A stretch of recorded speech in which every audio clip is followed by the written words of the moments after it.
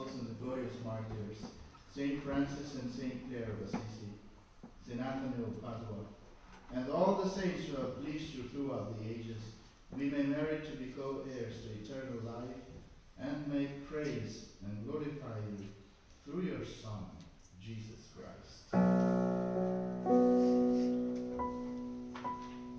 Through